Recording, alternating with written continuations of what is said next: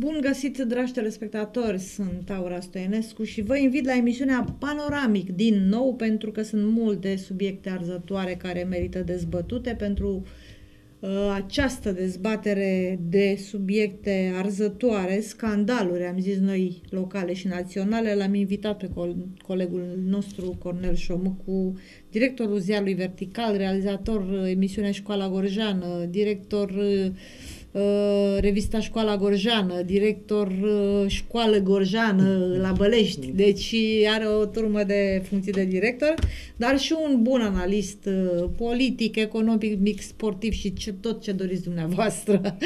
Bine ai venit, Cornel! Păi la o, la o asemenea prezentare pot să, pot să și plec, deci e, deja să am plec eu și rămâi tu și vorbești că ai ce. Uh, bun găsit! Uh, sunt foarte multe subiecte la ordinea zilei și poate puțin uh, ne la locul lor uh, ca și lansare, pentru că de regulă vara, undeva după 15 iulie și până pe la jumătatea lunii august, nu prea, sunt foarte, da, nu prea sunt foarte multe subiecte de dezbătut. Iată că de data aceasta avem destul de multe scandaluri, cum le-am spus noi, atât la nivel local cât și la nivel național și cred că e loc de mai multe. Adică faptul că rămân și se duc mai departe, gen uh, scandalurile din partea juridică, controlul la DNA și celelalte, chiar și Biserica Ortodoxă este străbătută de diverse probleme. Statul, de exemplu, dorește să impună, să o impoziteze pentru prima dată în 28 de ani de la Revoluție, să plătească și această instituție impozii pe ce face. Da, da, și ai că vinde și energie. E și băiat deștept Biserica Română. Nu știam, dar Spune, are asta, firmă de asta arată, de energie. Da, ă, asta arată că cei din spatele bisericii sunt niște oameni cu vederi foarte largi dacă se ocupă da. și cu asta. Se pricep la toate. Uh, vorbind despre, despre asta, uh, alte scandaluri mari, uh, sunt unul dintre ele deja începe să țină să zicem, se întâmplă la Gorj, dar ține deja locul în știrile naționale, este cel legat de accesul în instituția prefectului, în prefectura, cum o știm noi, de la Gorj, acolo unde prefectul Ciprian Florescu a stabilit niște limite, să spunem așa, niște reguli care n-au prea căzut bine și nici nu știu dacă ar fi putut să, în alte vremuri să cadă bine. Uh, nici, nici lumii presei și nici altor cetățeni. De aici, probabil în următoarele săptămâni vom avea, se va discuta foarte mult pe acest subiect, ca să nu mai spunem despre eterna problemă legată de Pandurii Târgu Jiu, o echipă care, iată, schimbă antrenor, dar de fapt nu știm dacă mare jucător, nu știm dacă intră în faliment, dacă se înscrie măcar în Liga a doua. Trebuie să spunem însă că spre deosebire de Craiova, unde cel mai modern stadion care se făcea în România are mari probleme, în sens au trezit acum că stadionul trebuie reconstruit, practic. Uh, au fost, uh, deci trebuie să, uh, să mai apară un etaj față de cum era, din cauza pompierilor, oricum la Craiova se va mai lucra cel puțin un an de zile din momentul de față. La Târgu Jiu nu sunt acele probleme și stadionul teoretic ar putea fi gata în această toamnă, dar ce folos că la, uh, să-l avem stadion dacă nu avem și o echipă care să joace pe el. Pentru că, apropo de scandalul legat de Pandurii, au apărut în subsidiar diverse informații despre echipe cumpărate de diversi oameni de afaceri, uh, echipe care ar trebui să fie aduse în, uh, în, județul, în județul Gorj. Uh, apropiația e controversatului om de afaceri Uh, Nicolae Sarcină, apropiația lui, au cumpărat o echipă la Vâlcea din Liga a 3 și au încercat să cumpere și Foresta Fălticeni de Liga a 2 însă acolo s-au împotmolit pentru că primarul de la Fălticeni, deci nu are bani să țină echipa, iar echipa probabil se va desfința, a pus condiția că va, echipa va fi cumpărată să se joace tot la Fălticeni. Vă dați seama că nu avea niciun interes, niciun om de afaceri să bage, din altă parte să bage bani într-o echipă de pe, din Moldova.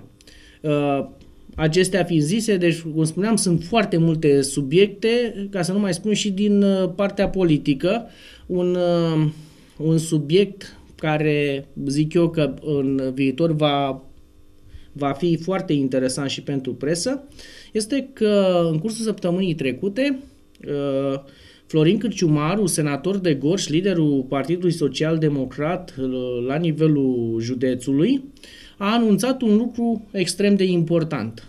adică și-a fixat niște obiective pentru perioada următoare, ce ar însemna câștigarea următoarelor runde de alegeri, dar și retragerea sa, chiar și al lui Aurel Popescu, candidatul la primărie, din această postură, din fruntea filialei municipale. Deci, practic, se vor schimba, în următoarea perioadă, se vor schimba gărzile la Partidul Social Democrat, cel mai important partid din Gorj la acest moment prin prisma rezultatelor electorale.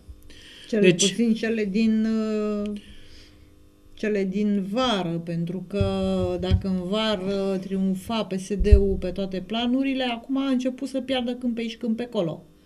Să nu uităm, da, Florin dar... Cârciumaru a câștigat alegerile, da, la primăria Târgu Jiu, da. după care a zis, parcă totuși aș vrea la Parlament. Ok, Bine, Cârciumarule, du-te la ofici- Parlament. Oficial uh, n-a spus el asta, ci a spus Liviu Dragnea, liderul național. Deci aici s-a, uh, do- domnul Cârciumaru a fost obligat cu ghilimele de rigoare să, să meargă la Dar Senat. Dar ce nu mai avea Dragnea pe cine să pună la, la Senat pe, pe Gorj ca să câștige? Păi uh, trebuia scos Ion Călinoiu de pe liste. Și uh, dacă îl scoteai pe un Călinoiu și lăsai un uh, no-name, era mare problemă, mare deranj în, și în filială și la nivel național. Și au Așa, în momentul să câștige când... un senator să pierdă un primar de Târgu Jiu.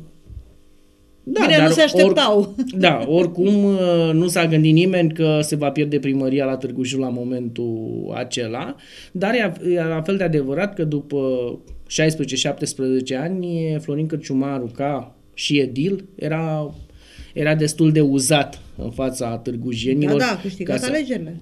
A câștigat alegerile, dar un scor mult mai mic decât în alte, în alte mandate.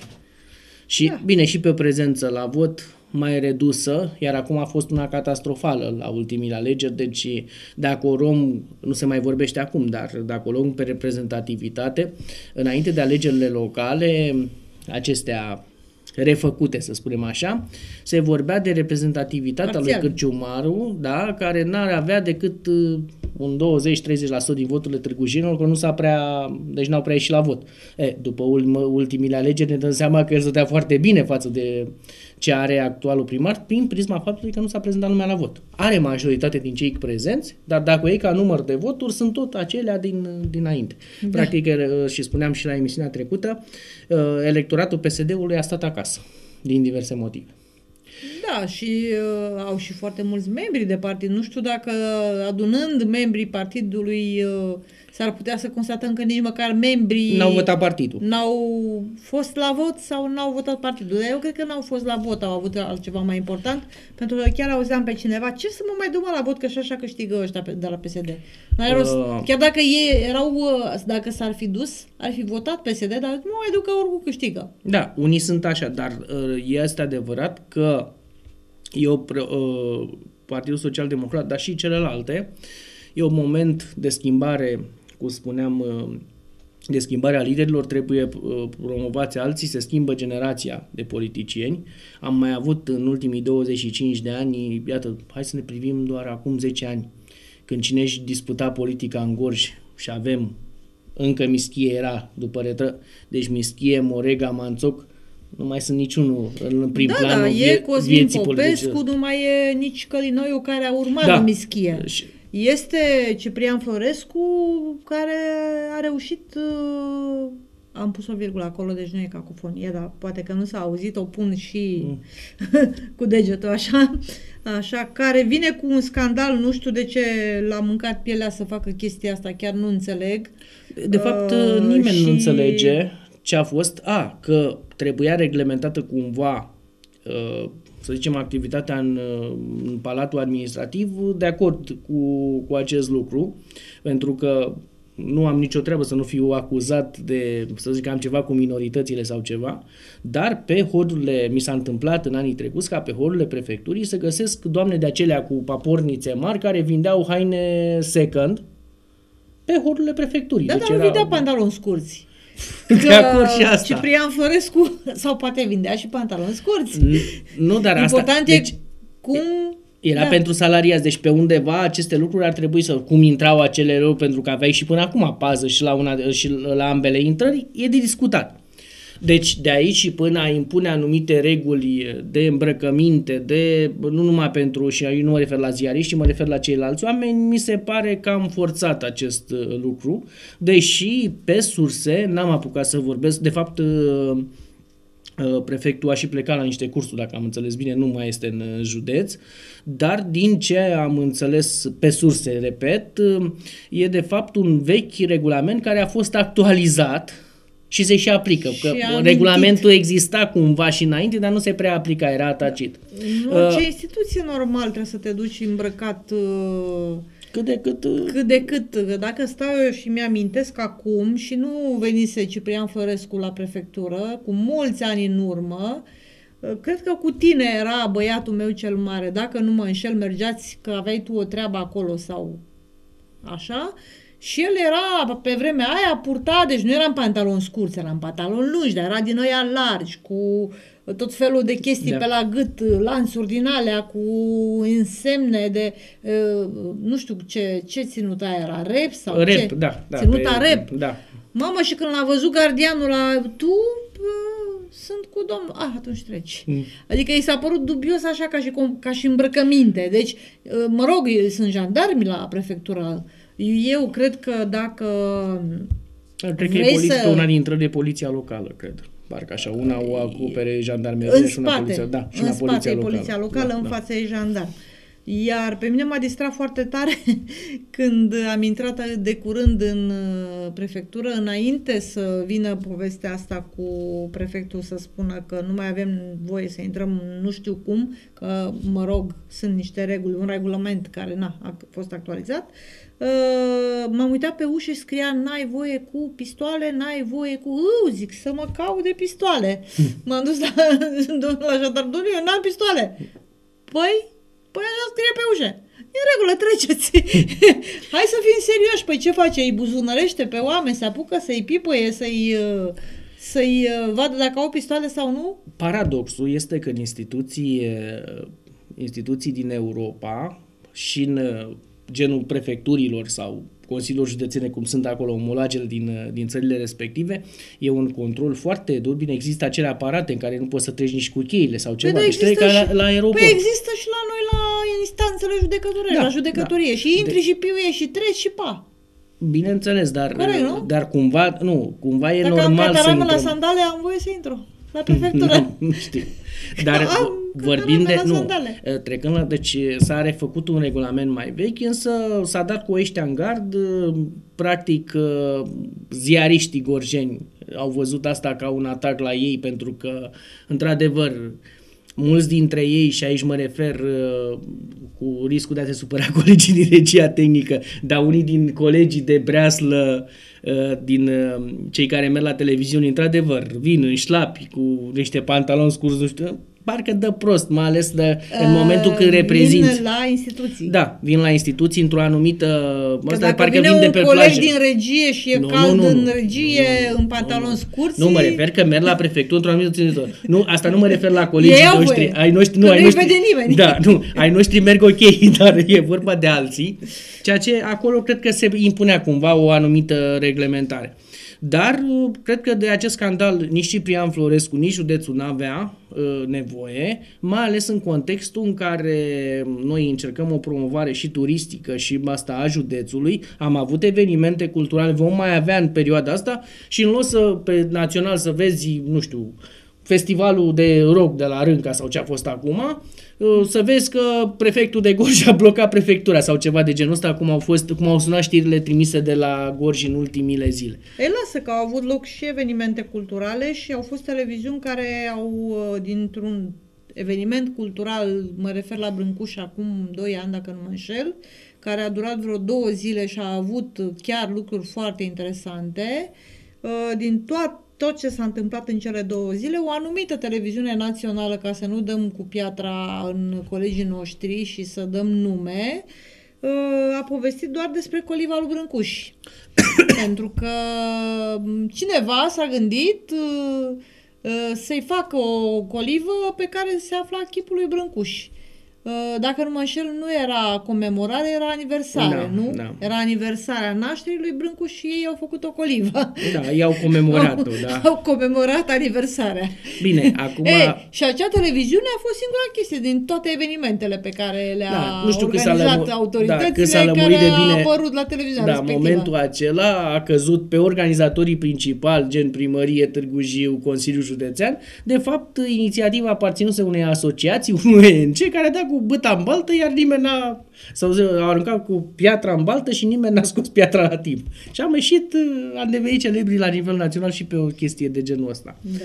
Dar, uh, apropo de, de scandalul de la prefectură, poate putem, să zicem, întoarce evenimentele și altfel, în sensul că, Mai vorbește lumea de noi. da, și publicitatea negativă Lasă la un lumea moment despre Gorj. Da, vorbim. Tot, tot nu este, deci la acest moment uh, tot spuneam că nu sunt foarte multe știri și atunci creăm un scandal de genul ăsta ca, de care, pe care îl uh, promovăm, trăind din el o perioadă mai lungă sau mai scurtă de timp.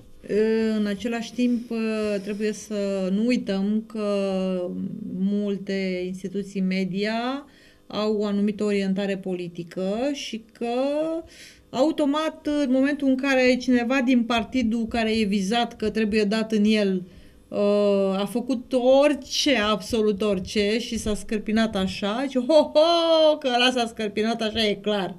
Deci uh, creează subiecte mediatice din absolut orice... Bun, a- Uh, acea presă care trebuie să dea într-un anumit partid. Da, Clar. apropo de chestia asta, mi se pare deplasată, apropo de scandalul de la prefectură, dar mi se pare total deplasată reacția Partidului Național Liberal de aici, de la Gorj, care a făcut o sesizare către Consiliul Național uh, de Discriminare, că sunt discriminați cei cu... Pantaloni scurți. Da, nu, cei cu haine, că se referă și la haine mm, murdare sau rupte sau ceva de genul ăsta. Dar eu cred că preocuparea politicienilor ar, fi, ar trebui să fie cu totul alta. Adi- Adică, haide să trece, au trecut de la alegerile locale, iată un an, avem și la parlamentare curând un an. Nu contează. N-am văzut nimic. Bun, n-am votat... Pregătirea uh, pentru următoarele alegeri se face din prima zi de după Așa ar trebui. alegerile. Nu pregătim uh, alegerile cu o chestie de genul ăsta. Adică... Ba da.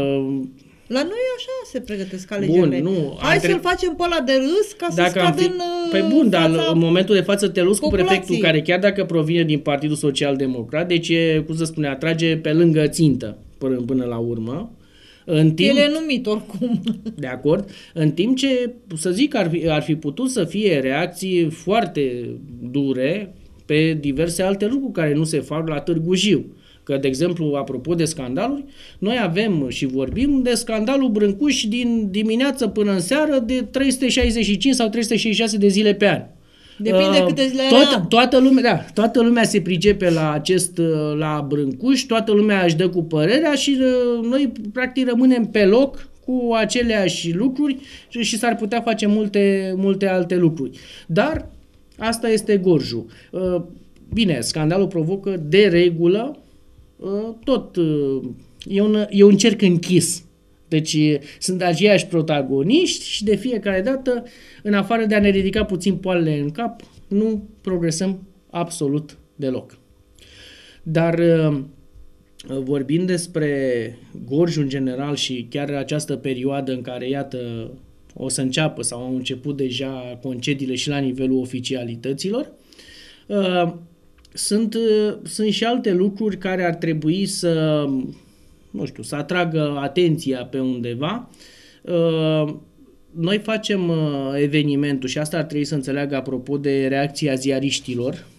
Uh, Asta ar trebui să înțeleagă și prefectul de Gorj, cel care este în în spatele acelui regulament, cel care a dat acel regulament de acces în prefectură.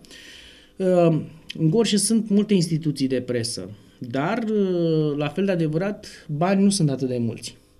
Și de foarte multe ori, cei care urmăresc știrile locale cu atenție pot să vadă la acele voxuri, cum le numim noi, declarații ale unor primari, șefi de instituții sau ceva de acest gen, că ele sunt, au cam același decor și de regulă din palatul administrativ.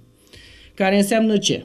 Că, perso- că ziariștii vin să ia acele imagini, se întâlnesc cu diverse oficialități din județ la prefectură. N-au bani să meargă de fiecare dată, nu știu, la Țânțăren sau în altă la Novaci sau ce. Și atunci când primarul respectiv spune, domnule, eu sunt acum la Consiliul Județean sau la asta, vin și eu să vă iau o declarație. Nu, nu, se întâmplă cu totul altfel, îți spun eu.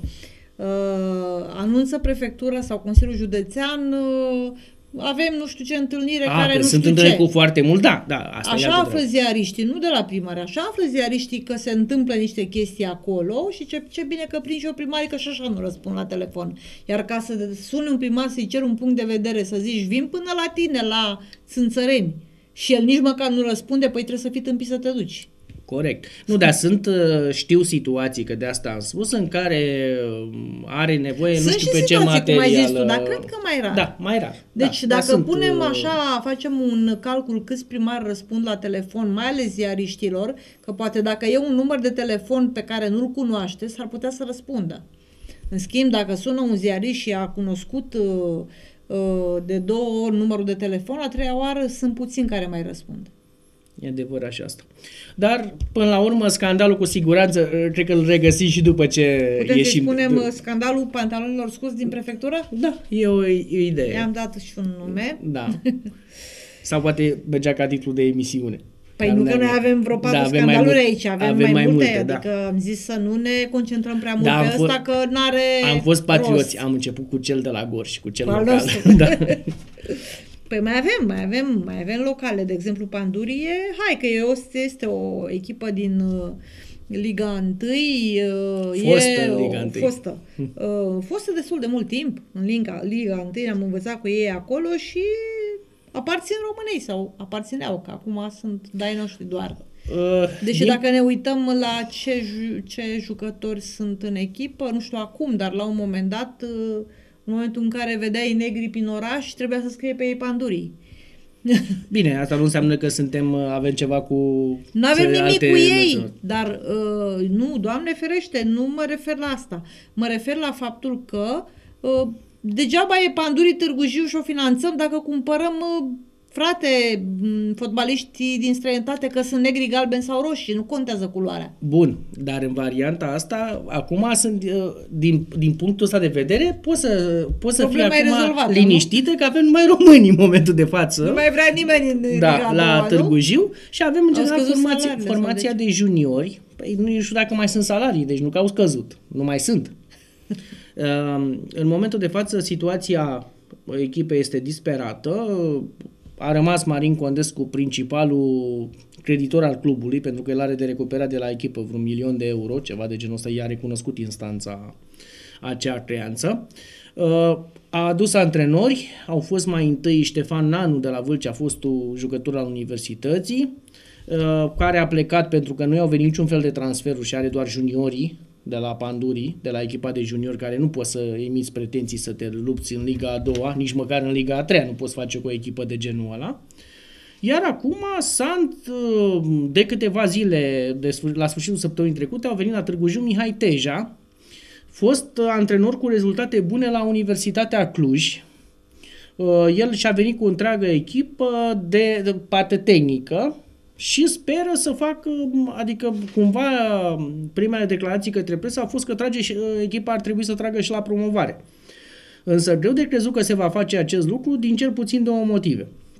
Nu sunt bani, uh, finanțatorii practic s-au retras în sensul că uh, primăria și uh, uh, Consiliul Județean dau acele sume pentru junior sau pentru baza sportivă, în timp ce restul, uh, Artego și-a anunțat oficial că se retrage dacă nu e în lig- echipa în Liga 1, nu finanțează, că nu finanțează decât performanța, iar ceilalți USMO sau alte structuri care mai sunt acolo sunt doar cu numele, deci nu sunt uh, și cu aport uh, financiar.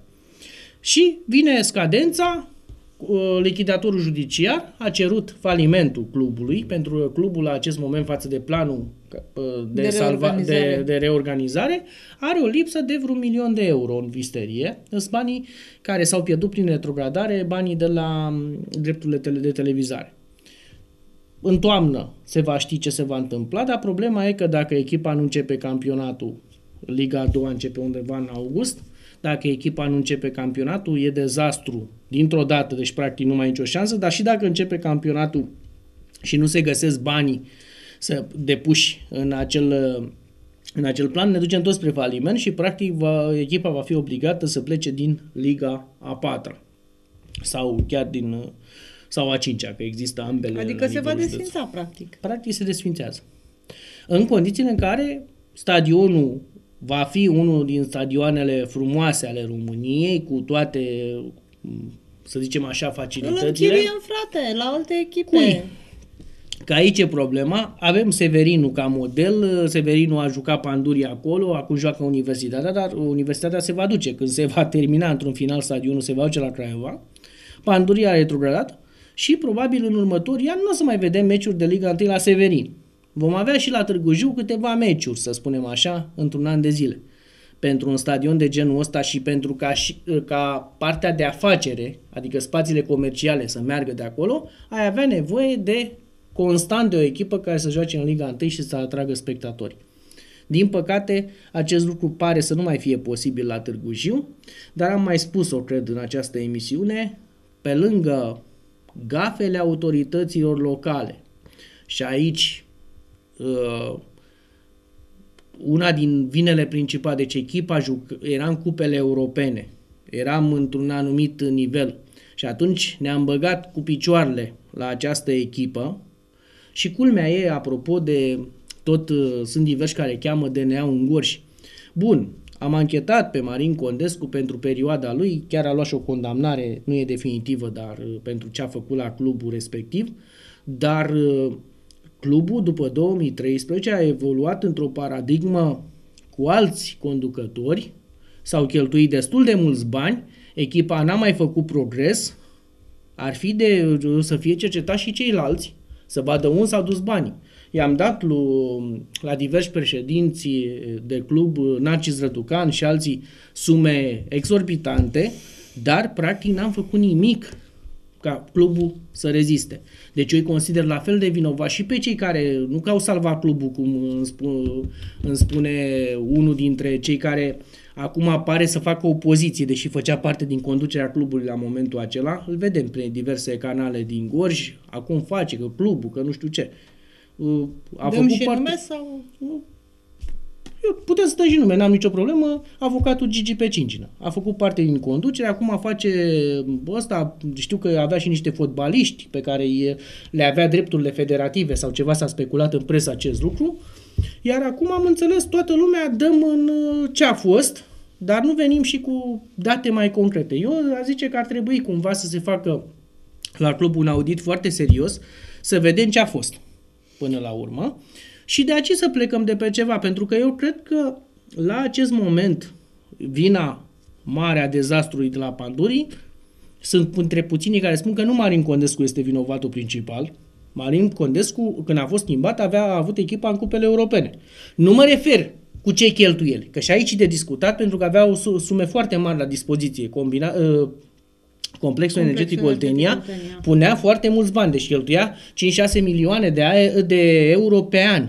Dar eu vin și întreb dacă avea atâția bani uh, disponibili, de ce a împrumutat uh, echipa și uh, de unde avea Condescu atâția bani? S-a întrebat instanța, au fi plătit impozit pe ei înainte să-i dea împrumut la... Uh, El i-a dat ca persoană fizică? I-a da, dat ca nu, firmă? Nu, ca ce? Nu. Marin Condescu s-a împrumutat în bancă ca persoană fizică? Ca persoană fizică. Pentru club, că se întâmpla o chestie. Finanțarea de la, de la CO totdeauna venea cu întârziere. Deci au fost perioade în care uh, ție știai că îți, vine, îți vin banii, dar uh, uh, îți vin în septembrie, de exemplu, și tu trebuia să iei licența în mai. Așa. E, perioada asta tu trebuia să o acoperi cum? O acopereai uh-huh. cu credite. Uh-huh. La început s-au făcut credite pe club, dar la un moment dat nu s-au mai putut face pe club. Și atunci el le-a făcut în nume personal. De discuta cu ce le gira. Asta, că la, din, nu, mai, nu o să mai dau banca, dar e o bancă cunoscută care a făcut aceste lucruri. Dar, din câte s-a constatat, a constatat instanța, datoriile există. Deci el lua credit, are acoperirea că lua creditul și banii se băgau în club. Păi și Discuția... nu mai venit banii de nu și-a luat înapoi? Da, păi nu, a apărut scandalul și el nu și-a mai putut recupera banii din, din club. Și a devenit deci, cel, cel mai mare creditor al Pandurii. Da, ce Dar tare. nu că la... Deci încă o dată spun, clubul era pe un anumit trend. Deci ceilalți n-au mai făcut nici performanță, Și banii s-au cheltuit la fel, ba din contră, au venit, a fost și acel boom pentru prezența în uh, grupele Ligii Europa, Europa League, au venit niște bani, vreo 3 milioane jumate de euro sau ceva de acest gen. Și acești bani, pe lângă cei care veneau din CO, s-au cheltuit la Târgu Jiu. Fără niciun fel de rezultat. Da, să zicem Ca așa. să nu zicem- Să zicem așa. Deci, Dacă uh, s-au pe lângă cheltuit faptul corect că sau de nu. trecut acum nu se, practic nu mai vorbim, deci asta e o primă problemă, ar trebui să știm și în prezent, adică cumva să se curețe tot și să știm, bă, mai plecăm cu echipa, adică are vreo șanse în Liga a doua. Că dacă nu avem șanse, ori din cauza că de, ni se declară falimentul, ori că nu vor fi bani, măcar la nivelul ăsta, atunci te duci, o dai în faliment și pleci din Liga a 4 acum au plecat și Rapidul, cum uh, pleacă Universitatea Craiova, fece Universitatea Craiova din acest an, pleacă din Liga Județeană de la Dolj, uh, și sunt și alte echipe, Timișoara și altele care au plecat de la această situație, Petrolul Ploiești în această situație și multe alte. Și echipele de tradiție ale fotbalului românesc scapă de datorii prin acest uh, model. Pentru că la momentul acesta, la Pandurii sunt datorii de circa 6 milioane de euro. Păi atunci poate să vină domnul Condescu să spună eu sunt uh, creditorul numărul 1 cu suma cea mai mare, Uh, el e cel care decide că se, se votează în adunarea creditorilor, el fiind cel mai important creditor, o să vină și o să decidă. Facem asta cu pandurii. De exemplu, eu mi-au pandurii acasă și eu să joc la mine în curte cu ei, că n-au fost în stare să-și plătească datoria, așa că ei sunt ai mei. și și ea acasă. Da, e, e o problemă legată Și de devine o echipă privată. Poate că ăsta era... Păi ai, avem o Scopul. mare problemă. De ce spun eu că trebuie reorganizate lucrurile? Pentru că la acest moment proprietarii clubului sunt CO, Primărie Târgu Jiu, Consiliul Județean, USMO și cred că au mai venit două firme care spuneam noi de au un aport de câte 50 de mii de lei. Fiecare pentru uh, la, la capitalul clubului. Ori, ca să poți face ceva, să vină un investitor la clubul acesta, e nevoie ca CEO să fie scos dintre acționari. Dacă tu nu dai bani în club, mi s-ar părea corect să nu mai stai aici, pentru că, efectiv, cine ar veni într-un club de acest gen să bage bani și să știe că uh, administrarea aparține CEO-ului și altor uh, structuri. Că vii, vii ca acționar, dar tu uh, ai același număr de voturi ca și ceilalți membri. Deci nu există o diferențiere între ei. Așa e statutul. Deci în momentul de față, orică, cum era CEO până acum, era finanțatorul principal, dar hotărârile le luau tot toți. E adevărat că țineau cont de poziția CEO, cel puțin până acum vreo 2 ani, când, când uh, CEO a dat banii la, la club. Deci ca care, să schimb... Poziția CEO a cui? A directorului CEO? A directorului care a era. lui AGA, lui CEO? A directorului care era pus tot de partid. Da, deci în, în perspectivă... Adică teoretic, dădea banii și teoretic partidul Laurențiu Ciorel, comanda. care a fost ultimul finanțator din partea CEO al lui Pandurii, reprezentant Ave- al ave- finanțatorului da, CEO. a venit uh, pe ales de o firmă străină ca și manager, deci nu n-ar fi avut culoare politică. N-a avut, nu. Doar că s-au plătit niște foarte mulți bani acei, celei firme ca să constate că el e cel mai bun. Da, așa e în România, așa ne-am trezit cu manageri eh, privați, cu ghilimele, la diverse, institu- diverse firme de stat din România și nu s-a venit cu plus valoare cam pe, ni- pe niciunde. Deci, practic, am, am mers S-au mai mai... cheltuit niște bani da, pe s-au cheltuit sume consultanții enorme de pentru, ales, pentru selectarea lor uh, și, ba din contră, s-a mers din rău, conducătorul. mers din rău în, în mai rău. Dar, acum, asta este. Deci, vă spuneam, tr- la Pandurii trebuie o reorganizare totală în care, spui, apropo că spuneai de sinitate, de bun, e echipa mea, uite, Condescu e cu datoria cea mai mare. E echipa lui Condescu, știm de la început și atunci e altă chestie. Așa că... Mai dă condesul că dacă tot are bani, mai dă bani celorlalți creditori ca să se termine masa credală, da? E, după, după câte speculează presa, se pare că nu prea are banii respectiv. Deci, e, da, în fine, o vom vedea. Dar e mai, cl- e mai clar, adică sau unul vine și cumpără de la Condescu sau ceva, zice, bă, iau tot clubul cu palmares, cu toate chestiile astea. Dar în momentul de față, practic, nimeni nu are nicio răspundere. Avem adunarea acționarilor care se reunesc ca să spună ce? Nu avem bani de băgat în club. Și atunci de ce îi ții în structura respectivă? Pentru că Ce- au avut o Ce n-am mare să intre înțeles, acolo. uh, apropo de, de chestia asta, și a Da, fost... acționarii, uh, potrivit legilor din România, nu sunt obligați să aducă bani de acasă. Bun, dar atunci să retrag. Nu? De ce? Nu, nu mi se pare Păi, în dar uh, o, regulă. o afacere... O nu e o afacere, că e, clubul acesta are un statut... uh, Trebuie să producă. Nu trebuie să nu, vină e un acționarii statut- cu bani de acasă. E un statut uh, special, nu neapărat că trebuie să producă, trebuie să supraviețuiască cumva. Da, obținând bani legal din sponsorizări, drepturi de televizare, la, la, la, Pe, la, sta, la. pe statut, bugetul clubului este acoperit din aportul acționarilor și sponsorizări. Cam ăsta, ăsta este statutul la Panduri. Deci, ce nu reușesc să iei din sponsorizări, vin acționarii. Dar acționarii singurii care au mai dat bani la echipă în ultimii doi ani sunt uh, cele două instituții, ju- uh, Primăria Târgu Jiu, Consiliul Județean și uh, Artegu, până, până anul ăsta- acesta. Și atunci e clar că nu se respectă statutul prin faptul că CEO nu mai dă Bun. bani, deci într-adevăr trebuie să se retragă. Bine, ar fi, da, asta ar fi o problemă. Până la urmă ar mai fi și o altă de discutat dacă și cum s-a întâmplat, ace- de asta spuneam eu că ar fi necesară o anchetă pe ultimii 2-3 ani și dintr-un alt motiv. Acționarul majoritar, să spunem așa, cel care a băgat banii în club, Un uh, timp. da, CEO, a avut aici cu banii de la CEO, s-au luat jucători, s-au luat... uh, E, retragerea intempestivă. Bine, n-au fost bani la CEO, am înțeles din acționariatul clubului, în sensul că n-ai venit cu bani ăsta, a făcut la clubul acesta să nu mai aibă valoare. Deci, practic, din punct de vedere legal, eu cred că uh, CEO a falimentat clubul Pandurii. Da, dar nu avea ca obiect de activitate susținerea clubului Pandurii. Bun, să fim nu ave, serioși. uh, acum A, de, treaba lor era să facă energie. De discutat care e treaba lor, că știm anumite obligații ale CEO care nu se mai împlinesc decât de vreo un an de zile, de vreo 2 ani de zile cel puțin sau chiar mai de mult. Uh, CEO ar trebui să refacă zonele care le folosește. Ar trebui să facă mult mai multe facă și ăsta utilitățile și nu mai celor fac care- pe nimic. care îi mută. Da, nu mai fac nimic de Și genul uite ăsta. Sau în aici, orice caz, peste drum avem un cartier care nici la ora actuală nu e legat uh, la rețeaua orașului de canalizare. Asta ar fi, asta ar fi de ultima exemplu. problemă. În continuare, patrimoniul, patrimoniul complexului energetic Oltenia este umflat artificial cu zonele Care și ar cu trebui zona de aici, predate care ar trebui predate localităților. da, localităților și cetățenilor, efectiv. Deci Și cetățenilor. cei care au luat, au dat pământ la mine și ăsta, dar chiar dacă li s-au refăcut casele și oamenii locuiesc acolo, nu sunt proprietari pe spațiul respectiv. Ceea ce, și bineînțeles, acestea figurează în uh, acel uh, capital al CEO, iar acum tu nu poți să scoți asta, nu? pentru că acționarii de la uh, fondul propriar și ceilalți spun, doar, doar cum îmi diminuez uh, ăsta? Eu am luat acțiuni de valoare acutare. Tu cum îndrăznești să-mi diminuezi Pentru acum? că ți-ai luat obligația în momentul în care ai făcut contractul cu ăla la care i-ai luat pământul. Da, deci sunt multe probleme dacă e să o luăm așa și la nivelul... Asta întrebam pe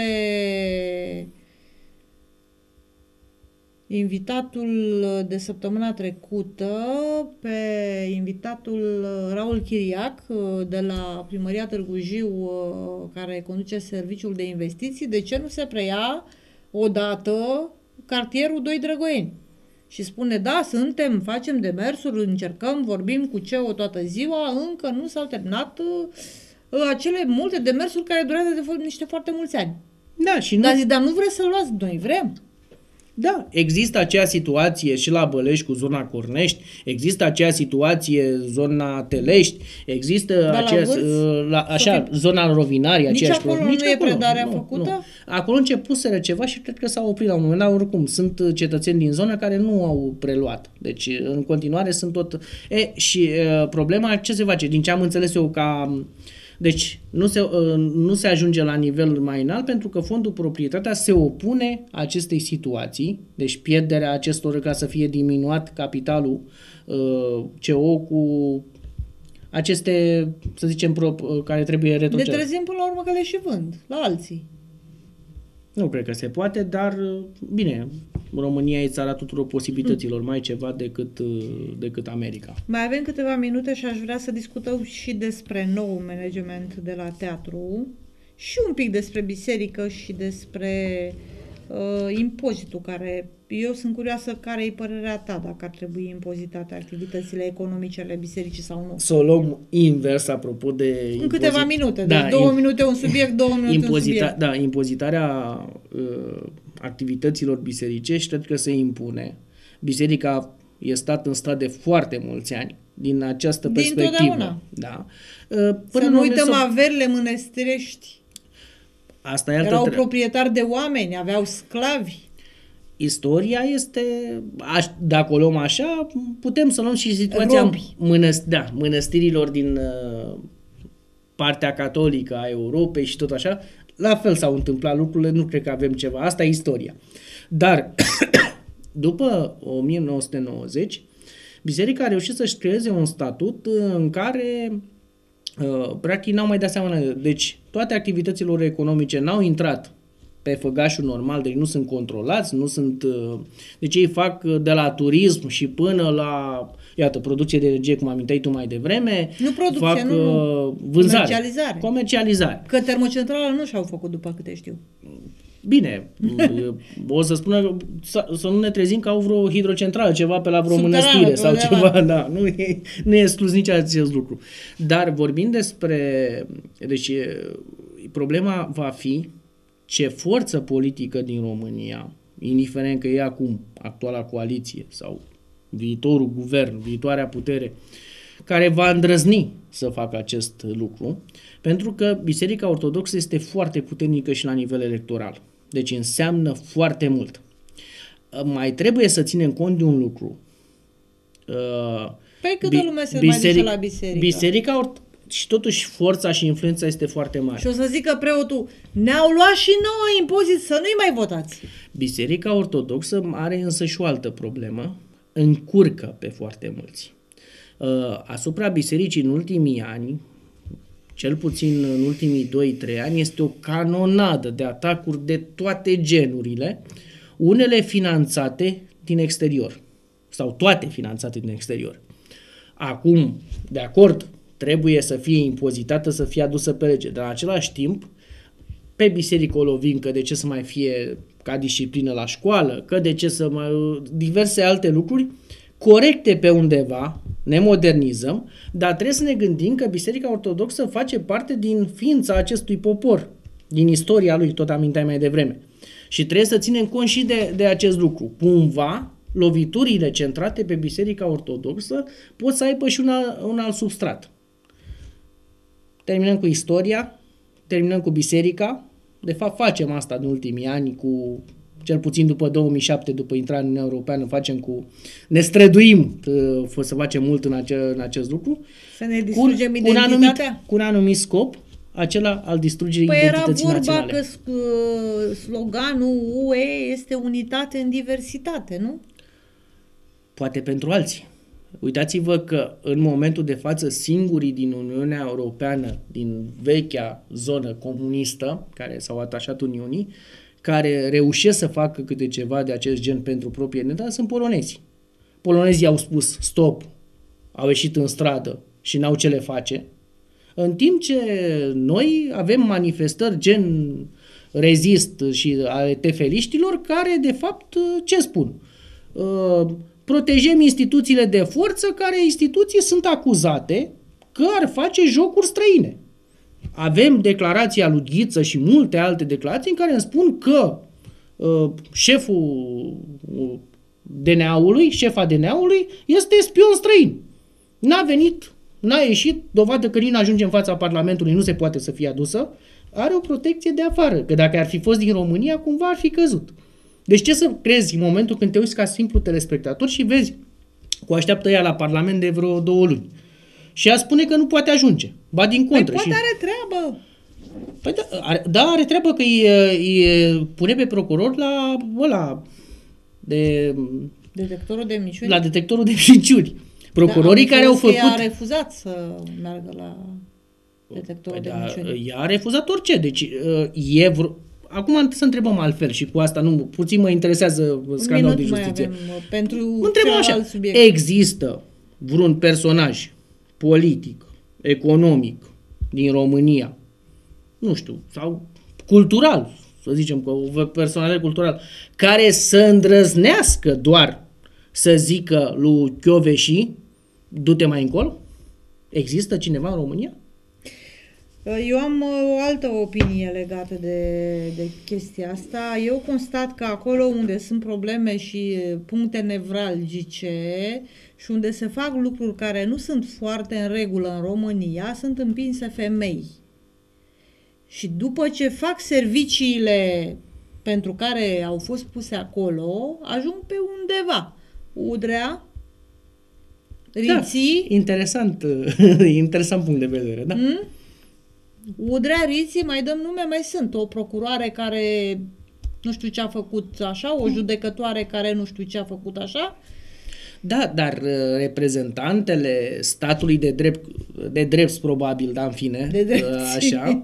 Deci, gen uh, Livia Stanciu, fosta șefa în altei curți care e în Curtea Constituțională, Chiove și și alții, cad mereu în picioare. Deci, apropo că se Ei, vorbește de un, de un sistem. Și da, dar, Iar... dar nu, veneau din, nu veneau din partea judecătorească sau nu a procurorilor. Veneau. Deci și ultimul mare... subiect, teatrul din Târgu Jiu, management nou, un minut. Uh, complicat, vom avea un concurs care de data aceasta va fi unul național în sensul că vor fi reprezentanți de la instituții teatrale din, uh, din țară, tot mai că să nu mai avem partipriuri. La că... ce? În jurul sau la participarea pentru concurs? Nu, în comisia de concurs, în comisia de concurs. vor veni reprezentanți și am înțeles chiar și de la Teatre din București, chiar de, de la Ministerul Culturii. De ce zic? E pentru prima dată... Dar nu e când... Teatrul Național.